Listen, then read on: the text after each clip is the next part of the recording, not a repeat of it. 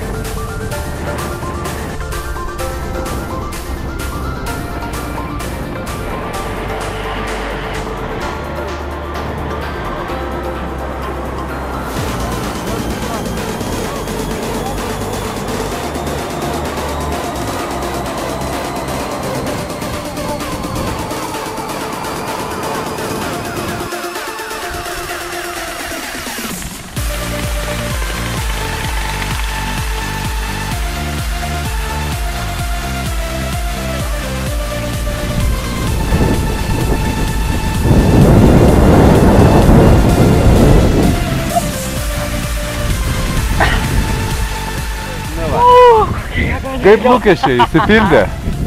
Kad išsipildė. Akėlį savo gali dabar. Nu, pamojuojam. Trijulė. Liuk. Ačiū. Malačiai. Ačiū jums. Ačiū.